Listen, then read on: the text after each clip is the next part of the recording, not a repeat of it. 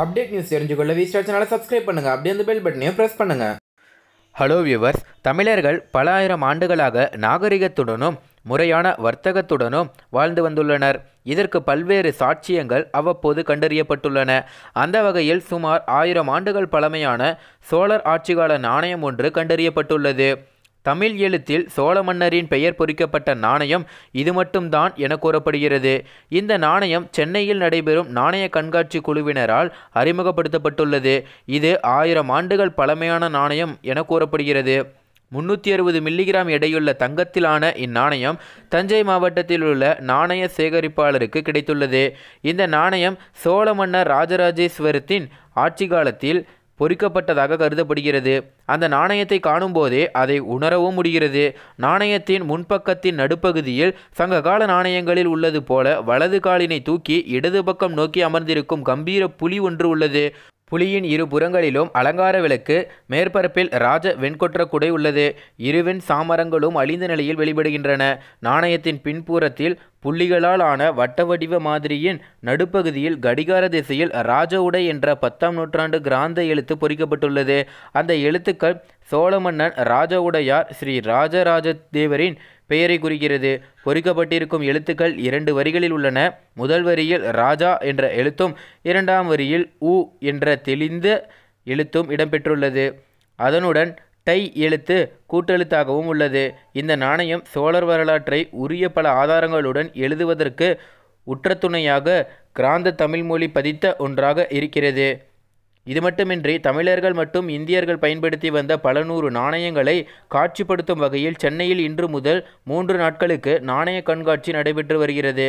சென்னை நாணயவியல் கழகம் நடத்தும் தேசிய அளவிலான இந்த கண்காட்சி ஆற்காடு சாலையில் சாலிகிராமம் பகுதியில் நடைபெற்று கொண்டிருக்கிறது. இதில் மன்னர்கால நாணயங்கள் ஆங்கிலேயர் கால நாணயங்கள் மெட்ராஸ் மாகாணத்தின் ஆரம்பகால நாணயங்கள் மற்றும் வெளிநாட்டின் பணம் மற்றும் நாணயங்கள் இடம்பெற்றுள்ளன. அத்துடன் பல கலைப்பொருட்கள் பார்வை மற்றும் விற்பனைக்கு வைக்கப்பட்டுள்ளது என்பது குறிப்பிடத்தக்கது. மேலும் நிறைய பேர் சொல்லுவாங்க யார் தான் இந்த சோழர்கள் சோழர்கள் தான் யார்? அவங்க தமிழர்களா? அவங்க வாழ்க்கை முறை எப்படி இருந்தது? அப்படிங்கிறத வாங்க பார்க்கலாம். சோழர்கால வரலாற்றை பற்றிய தகவல்களை அறிய உதவும் சான்றுகளில் முதன்மையானவை கல்வெட்டுகளாகும். சோழ அரசர்களின் வாழ்க்கை ஆட்சி முறை மற்றும் சோழர்கால அரசியல் பொருளாதார சமய சமூக பண்பாட்டு நிலைகளை பற்றி கல்வெட்டுகள் கூறுகின்றன. கோவில்களில் உள்ள தூண்களிலும் சுவர்களிலும் கல்வெட்டுகள் பதிக்கப்பட்டுள்ளன. தஞ்சை பெரிய கோவில் என்றழைக்கப்படும் பிரகதீஸ்வரர் ஆலயத்தில் கல்வெட்டுகள் ஏராளமாக காணப்படுகின்றன. கடலூர் விழுப்புரம் திருச்சி தஞ்சாவூர் சிதம்பரம் கும்பகோணம் நாகப்பட்டினம் ஆகிய மாவட்டங்களில் பல முக்கிய கல்வெட்டுகள் காணப்படுகின்றன. சோழ அரசர்களின் ஆட்சி முறைகளை பற்றி தகவல்கள் கல்வெட்டுகள் வழங்குகின்றன. மூன்றாம் ராஜேந்திரனின் ஆட்சி முறையை பற்றி திருவந்திபுரம் கல்வெட்டுகள் கூறுகின்றன. குடவோலை முறை கிராம நிர்வாகம் வரி வசூல் முறை நில வருவாய் முறை ஆகியவை குறித்து உத்திரமேரூர் கல்வெட்டுகள் கூறுகின்றன. சில கல்வெட்டுகளில் மெய்கீர்த்திகள் எனப்படும் மன்னர்களின் வெற்றி வரலாறுகளும் காணப்படுகின்றன. அன்பில் செப்பேடுகள் கன்னியாகுமரி கல்வெட்டுகள் கரந்தை செப்பேடுகள் மற்றும் திருவாலங்காடு செப்பேடுகள் ஆகியன சோழர்களை பற்றிய பயனுள்ள பல தகவல்களை அளிக்கின்றன. சைவ மதம் அங்கு சிறப்புடன் இருந்தது குறித்து தஞ்சையில் உள்ள பெருவுடையார் கோவில் கல்வெட்டுகள் கூறுகின்றன. சோழர்களின் சமகால அரசர்களான சேரர் பாண்டியன் after coder கங்கா ஆகியோர் வெளியிட்ட கல்வெட்டுகளும் சோழர்களின் சிறப்புகள் பற்றி கூறுகின்றன. சோழர்கால வரலாற்றை அறிந்து கொள்ள நினைவு சின்னங்கள் மிக முக்கிய சான்றுகளாய் பயன்படுத்தப்படுகின்றன. நினைவு சின்னங்கள் ஆலயங்களின் பகுதிகளாக உள்ளன. தஞ்சையில் உள்ள பிரகதீஸ்வரர் ஆலயம் கங்கை கொண்ட சோழபுரம் கோவில் தாராபுரத்தில் உள்ள ஐராவதீஸ்வரர் ஆலயம் திருப்புவனத்தில் உள்ள கம்பகரேஸ்வரர் ஆலயம் சோழர் காலத்தின் முக்கிய நினைவு சின்னங்கள் ஆகும். சோழ அரசர்கள் பொன் வெள்ளி செப்பு நாணயங்களை வெளியிட்டனர். அவற்றில் பொற்காசுகள் மிக்க குறைவாகவும் வெள்ளி செப்பு காசுகள் அதிகமாகவும் கிடைக்கின்றன. சோழர் காலத்தில் வெளியிடப்பட்ட சோழ நாணயங்களில் சோழர்களின் சின்னமாகிய புலிச்சின்னமும் சோழ அரசர்களின் பெயர்களும் காணப்படுகின்றன. ராஜராஜ சோழன் இலங்கையின் நாணயத்தை போன்ற நாணயங்களை நமது ராஜ்யத்தில் வெளியிட்டார். சோழ அரசர்களின் காலங்களை வரிசைப்படுத்தவும் சோழர்கால சமுதாய பொருளாதார நிலைமைகளை அறிந்து கொள்ளவும் இந்நாணயங்கள் பெரிதும் பயன்படுத்தப்படுகின்றன. சங்ககால சோழர்கள் மற்றும் பிற்கால சோழர்கள் பற்றி அறிந்து கொள்ள இலக்கியங்கள் சிறந்த சான்றுகளாக உள்ளன. சேக்கிலாரின் பெரிய புராணம் சைவ பக்தர்களை பற்றி கூறுகிறது. இரண்டாம் குலோந்துகன் காலத்தின் சேக்கிலார் வாழ்ந்தார். ஜெயம் கொண்டாரின் கலிங்கத்து பரணி ஒட்டகச்சுந்தரின் மூன்று உலாக்கள் குலோத்துங்கன் பிள்ளைத்தமிழ் ஆகிய நூல்கள் சோழர்கள் பற்றி பயனுள்ள பல தகவல்களை தருகின்றன. வீரசோழியம் வனசோழ சரிதம் ஸ்தல புராணம் சோழவம்ச சரிதம் ஆகிய இலக்கியங்கள் முற்கால சோழ அரசர்கள் பற்றி அறிய உதவும் சிறந்த இலக்கிய சான்றுகளாக உள்ளன. சோழ அரசிற்கும் இலங்கை அரசிற்கும் இடையே இருந்த உறவுகள் பற்றி இலங்கை இலக்கியமான மகாவம்சம் கூறுகின்றன. மேலும் இந்நூல் இலங்கையில் சோழர் ஆட்சி குறித்தும் கூறுகின்றன. ஐரோப்பிய பயணி மார்க்கோ போலோ அயல்நாட்டு எழுத்தாளர் மெகஸ்தனிஸ் ஆகியோர் சோழர்களை பற்றி பல சுவையான தகவல்களை கூறுகின்றனர்.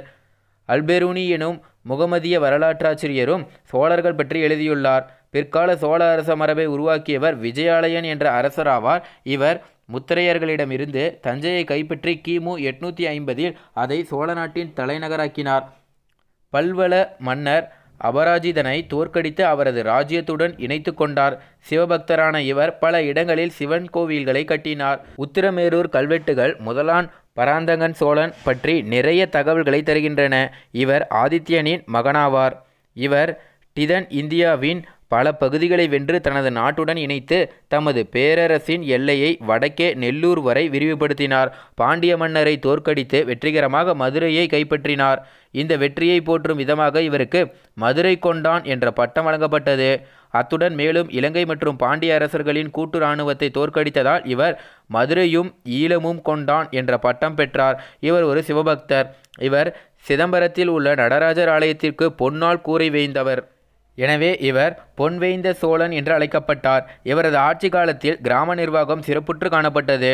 பராந்தகனுக்கு பிறகு கண்டராதித்யன் அரிஞ்சயன் இரண்டாம் பராந்தகன் என அழைக்கப்பட்ட சுந்தரச்சோழன் மற்றும் உத்தமச்சோழன் ஆகியோர் அரசாண்டனர்.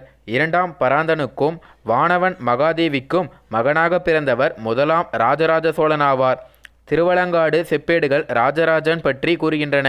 இவர் சோழர்குலத்தின் மிக வலிமை மிக்க மன்னராவார். முதலாம் ராஜராஜ சோழனின் சிறப்புகள் சோழ நாட்டிற்கு மட்டுமல்லாது தமிழ்நாட்டுக்கே பெருமை சேர்க்கின்றன. இவர் காலத்தில் பல கல்வெட்டுகள் வெளியிடப்பட்டன. ராஜராஜனின் வலிமை மிக்க இராணுவம் இருந்தது. இவர் சேரரின் இராணுவத்தை திருவனந்தபுரத்தில் தோற்கடித்தார். இவர் கொல்லத்தை சார்ந்த பாஸ்கர ரவி என்ற மன்னனையும் தோற்கடித்து காந்தலூர் சாலை கள மறுதலிய என்ற பட்டம் பெற்றார். இவர் அமரபுஜக்கன என்ற பாண்டிய மன்னனை வென்றார். இலங்கை அரசன் ஐந்தாம் மகிந்தாவை வென்று அனுராதாபுரத்தை இலங்கையின் வடப்பகுதியையும் இவர் கைப்பற்றினார்.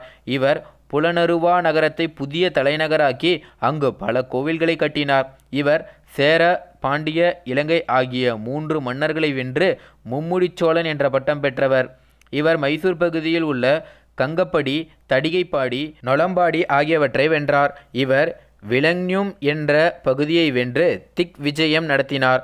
மாலத்தீவுகள் கலிங்கம் ஆகியவற்றையும் வென்றார். இவருக்கு அருண்மொழி ராஜகேசரி போன்ற பட்டங்கள் உண்டு. ராஜராஜ சோழனுக்கு அவரது மகன் பட்டத்து இளவரசரான ராஜேந்திரன் ஆட்சி மற்றும் போர்ப்பணிகளில் மிகவும் உறுதுணையாக இருந்தார். ராஜராஜ சோழன் ஒரு சிறந்த நிர்வாகி. தமது ஆட்சி காலத்தில் இவர் நில அளவை முறையை அறிமுகப்படுத்தினார். இவரது ஆட்சிக்குட்பட்ட பகுதிகள் அனைத்திலும் உள்ளாட்சி நிர்வாக முறையை சிறப்பாக நடைமுறைப்படுத்தினார். இவர் தஞ்சையில் உள்ள பெரிய கோவில் என்று அழைக்கப்படும் பிரகதீஸ்வரர் ஆலயத்தை கட்டினார்.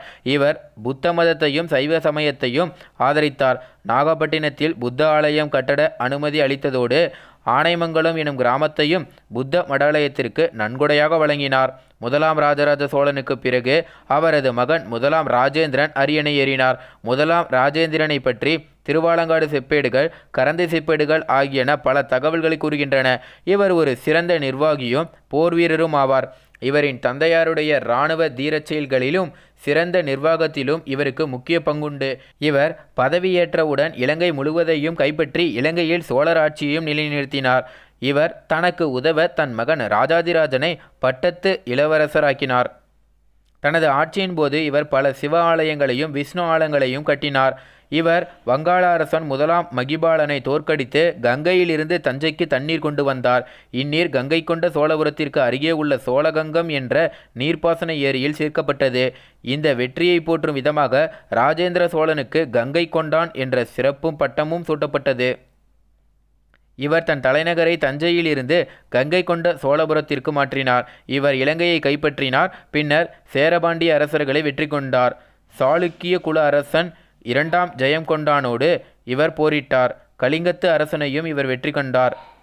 இவர் ஒரு வேத கல்லூரியை நிறுவினார். முதலாம் ராஜேந்திரன் வீரராஜேந்திரன் அதிராஜேந்திரன் ஆகிய அரசர்கள் சில வருடங்கள் சோழ நாட்டை ஆட்சி செய்தனர். சோழர் வரலாற்றில் குலோத்துங்க சோழன் மிகப்பெரிய திருப்புமுனையை ஏற்படுத்தினார். குலோத்துங்க சோழன் பிள்ளைத்தமிழ் விக்கிரம சோழன் உலா ஆகிய நூல்கள் குலோத்துங்கனின் நிர்வாகம் இராணுவ வெற்றிகள் பற்றி விளக்குகின்றன. இவர் சேரபாண்டிய மன்னர்களை தன் கட்டுப்பாட்டிற்குள் வைத்திருந்தார். மேற்கு சாளுக்கிய மன்னரான விக்ரமாதித்யனுடனும் இவர் போரிட்டார். குலோத்துங்கன் காலத்தில் சோழ பேரரசு மிகவும் பரந்து காணப்பட்டது. வினயாதித்யாவிடம் இருந்து வெங்கியின் ஆட்சியை கைப்பற்றினார். முதலாம் குலோத்துங்க சோழனை சீனா போன்ற தூர கிழக்கு நாடுகள் நன்கு அறிந்திருந்தன. இவர் சீன அரசவைக்கு தூதுவரை அனுப்பினார். இவர் இலங்கையின் வடபகுதியில் தன் ஆதிக்கத்தை இழந்தார். ஆனால் தென்பகுதியில் தன் ஆதிக்கத்தை நிலைநிறுத்தினார். இவர் கலிங்கத்தை தனது கட்டுப்பாட்டில் வைத்திருந்தார். சோழ பேரரசின் பொருளாதார நிலைமையை முன்னேற்றம் அடைய செய்தார். பல புதிய சீர்திருத்தங்களை அறிமுகப்படுத்தி முறையான நில அளவை முறையினை இவர் தொடர்ந்து நடைமுறைப்படுத்தினார். மக்களுக்கு விதிக்கப்பட்டிருந்த சுங்கவரி உட்பட பலவிதமான வரிகளை நீக்கி வரி சுமையில் இருந்து மக்களை மீட்டதால் இவருக்கு சுங்கம் தவிர்த்த சோழன் என்ற சிறப்பு பட்டம் வழங்கப்பட்டது. இவர் பல நிர்வாக சீர்திருத்தங்களை அறிமுகப்படுத்தினார். சோழ பேரரசு இவர் காலத்தில் புத்துயிர் பெற்றது. இவரது ஆட்சியில் உள்நாட்டு அமைதியும் சிறந்த நிர்வாகமும் சோழ மக்களுக்கு கிடைத்தது. சோழ அரசர்களில் மிகவும் சிறந்த அரசராக முதலாம் குலோத்துங்கன் கருதப்படுகிறார். அவருக்கு பின் வந்த அரசர்கள் திறமையற்றவர்களாக இருந்ததால் சோழர் ஆட்சி வீழ்ச்சியுற்றது என்பது குறிப்பிடத்தக்கது. மேலும் இந்த தகவல் தான் தற்போது சமூக வலைதளங்களில் ரொம்ப வைரலாக பரவிட்டு இருக்கு அப்படின்னே சொல்லலாம். அது மட்டும் இல்லாமல் நம்ம ராஜராஜ சோழனை பற்றி பார்த்திங்கன்னா பல தகவல்கள் பார்த்துருப்போம். இன்னும் நிறைய தகவல்கள் நீங்கள் தெரிஞ்சுக்கணும். இதே போல் பல விஷயங்கள் தெரிஞ்சுக்கணும் அப்படின்னு நினச்சிங்கன்னா மறக்காமல் கீழே கமெண்ட்டில் பதிவு பண்ணுங்கள் கண்டிப்பாக நம்ம இன்னும் நிறைய தகவல்கள் சேகரித்து தொடர்ந்து நம்ம சேனலில் பார்க்கலாம். அதே போல் மறக்காமல் இந்த தகவல் உங்களுக்கு பிடிச்சிருந்துச்சுன்னா லைக் பண்ணி ஷேர் பண்ணுங்கள் இதே போல் பல தகவலை தெரிஞ்சுக்கொள்ள நம்ம சேனலை உடனடியாக சப்ஸ்கிரைப் பண்ணுங்கள் தேங்க்யூ